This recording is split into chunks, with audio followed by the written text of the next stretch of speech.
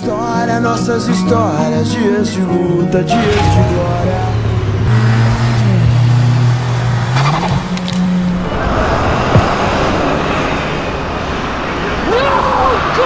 Fala rapaziada, começando mais um vídeo top aqui no canal. Eu sou o Dub e mano Estamos no Project Cars, no posto Onde vocês gostam que a gente vem aqui gravar carro. E hoje é um carro muito especial rapaziada, de verdade A gente tá falando de um Escort de 400 cavalos Um carro com uma tonelada, 400 cavalos E a gente vai mostrar todos os detalhes Tem ducktail, roda, mano, maravilhosa. De lata o carro tá 0000. Projetor, banco, mano, vocês vão gostar. O que que acontece? A gente vai mudar um pouquinho essa ideia do Project Cars. Então hoje eu vou mostrar todos os detalhes do carro. Está saindo esse vídeo meio-dia. Às 6 vai sair um vídeo acelerando o carro aqui na madrugada, fechou? É isso aí, meta de mil likes, conto com a sua ajuda aí. Se você quiser ganhar ó, aquele carro manco ali, aquele Jetta, de graça, é o primeiro link da descrição. Esse upzinho é o carro que vai sair amanhã no canal, a mesma coisa. Meio dia mostrando o carro, às 6 horas dando um rolê no carro, beleza? Agora, chega aí, vamos lá mostrar o carro. No final do vídeo eu vou colocar uma produção da hora. Mas ó, só aqui que a gente já olha na estética, a gente tá falando de um carro 2001. É um... já tá com intercooler bem aqui na frente. Projetor no farol, tá com dois projetores em Eyes. Farol de milha preto Jogou ali também o. Como é que é o nome daquelas faixinhas vermelhas ali? É. Metal Hawk, Toe Strip, alguma coisa assim, esqueci o nome. Mas tem um nome dessa porra aí. Normalmente é utilizado em carro japonês. O carro japonês, eles puxavam por ali o carro quando precisava ser linchado. Mas hoje virou questão de estética, muito carro coloca. Mas agora, vem cá, vem cá, bem pertinho. Só pra mostrar pra galera. Rapaziada, Olha como dilata, o carro tá zero, tá garoando aqui. A gente tá trabalhando, porque a gente vai trabalhar, né? Tá aqui, ó, rebaixadinho, precisou colocar o stripzinho aqui. Mas, mano, o carro tá zero de lata. Zero, não, não tem um risco, não tem um nada. Não tem nada, mano. Nada, nada. O carro tá muito bom de lata, de verdade.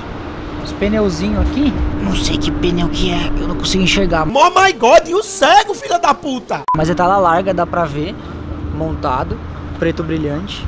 E da hora, você percebeu que ele colocou os adesivos dentro da roda, na tala da roda? Uma brisa da hora, né? Nunca tinha pensado nisso, ficou muito bem feito. Retrovisorzinho ele colocou vermelho aqui. Ó, tem uma dica, ele, o dono tá ali, a gente vai falar com ele. Eu acho que preto brilhante vai ficar melhor do que vermelho aqui fora. Mas o carro não é meu, né, irmão? Tem que fazer o dono feliz. O carro já tá bem pra caramba. Colocou o envelope aqui de carbono. O carro tá rebaixado, tá bem preparado. A gente vai mostrar lá dentro também. Mas aqui atrás tá a cereja do bolo, galera. Essa é a cerejinha do bolo, rapaziada. Um aerofólio ducktail. Ele mandou fazer, então não existe outro igual. É dele esse aerofólio. Ele mandou fazer. Escureceu aqui também a, a lanterna. Colocou a gra, aquela... Ali do, de cima da placa ali, esqueci qual é o nome, bigodinho. Preto brilhante. Mano, você olha, o escape, o ducktail, já vê que é um puta projeto diferenciado. Eu acho muito louco, eu prefiro mais um aerofólio. O ducktail, não sei, depende muito do carro. Mas os, os aerofólios mais segue a linha do carro, sem ser tipo aerofólio tuning mesmo, eu acho mais bonito. Ele deve ter gastado uma grana, a gente vai falar com ele daqui a pouco sobre isso. Ó galera, tá com o volante, mudou a seta. Lá dentro ele também fez de carbono essa parte do painel. Ah, de carbono também todas as, as informações aqui, provavelmente deve estar de boost, de sonda, pressão de óleo, pressão de combustível, essas coisas. Porque a gente está falando de um carro de 400 cavalos que não dá para você deixar ele sem informação, né? Tá com câmbio original, tá com multimídia, mostra lá depois pra galera. Por dentro de estética é só. Agora vamos para a parte mais maldosa. Olha que legal com adesivo, tamo junto. Gostei. Abre o capô pra gente mostrar pra galera a parte mais da hora do carro. Rapaz, já se apresenta pra galera, já fala do seu Instagram. E o motor eu, eu não vou nem falar, vou deixar pra você contar toda a brincadeira, velho. Que meu Deus do céu. Demorou. Satisfação família. Meu nome é Alexandre, sou dono de um Escort Zetec Rocão 1.68 válvulas 2001, turbo forjado. Um carrinho que é meu desde 2006, legalizado, todo certinho. É um carro que hoje eu consegui forjar toda a parte interior do motor, pistão, biela, pino, tem o-ring, tem prisioneiro, só o câmbio é original. Eu tô esperando quebrar pra a gente trocar. Radiador de óleo e tudo mais. É um carrinho que está com 350 cavalos de roda, foi preparado pela Elite Motorsports. Um salve pro Baiano aí, meu parceiro. Está com 43 kg de torque. Um carrinho que eu busquei pela autenticidade e para não ser mais um. Procurei pensar um pouquinho fora da caixa, trazendo a parte de preparação do motor de uma que me desse uma qualidade de performance bacana. E agora eu tô caminhando agora para a parte estética. A gente mexeu um pouquinho nas rodas, largamos a rodinha do 15 do Focus para tala 8 e 8,5. Temos suspensão da Impacto preparada. E aí o intuito agora é mexer um pouquinho na parte dos bancos, botar um roquejezinho, trabalhar a parte interna. Da onde surgiu essa brisa de colocar um cofre vermelho, um detalhe dourado, a roda de ferro alargada, tipo, esses diferenciais, né? É, na verdade a roda de ferro foi mais por questão financeira. O meu intuito na frente ali é a gente estar tá colocando uma roda de liga tal, pensar de repente num aro maior. O cofre vermelho foi pela, pelos projetos que a gente acompanha aí na internet. Tem muita gente que busca a parte de cofre clean e tudo mais. Eu como não, não fiz, eu não busquei a parte do cofre clean, eu procurei limpar algumas coisinhas. E aí eu busquei o vermelho do Fiesta Sport, que é Ford. A gente busca dentro da própria montadora uma cor. E eu achei que ele destacou legal. Pintei os espelhinhos para dar o mesmo clean, puxar um pouquinho para dar um destaque. E essa parte dourada, ela é uma fita térmica, né, repelente de calor. É uma fita usada por foguetes da NASA, segundo quem faz, e que ela evita que a gente passe calor, ela repele o calor. Então a parte de pressurização que vai para o intake ali, ela fica funcional. Que turbina que você está usando aí? Eu uso uma Borg Warner K24 com miolo de K27. Alguma parte dela interna lá é de K27 que ela é ponto .50. Ela é ponto .50, ponto .48, exatamente. Tem muito lag na, na aceleração?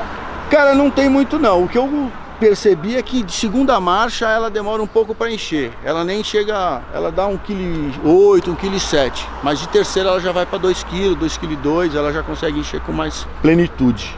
Tô ansioso pra dar um rolê nesse carro. É, você vai curtir, você vai gostar, eu acho que você vai gostar. Fala um pouquinho, mano, da suspensão, do projetor no farol, o ducktail, que, mano, com certeza muita gente daí tá assistindo vai querer saber que é um negócio muito diferenciado.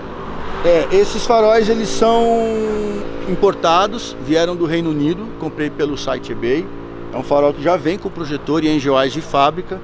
Ele é próprio para o Escort, não foi nada adaptado, só que no Brasil a gente não encontra. Encontrava-se no tempo atrás, aí hoje não encontra mais.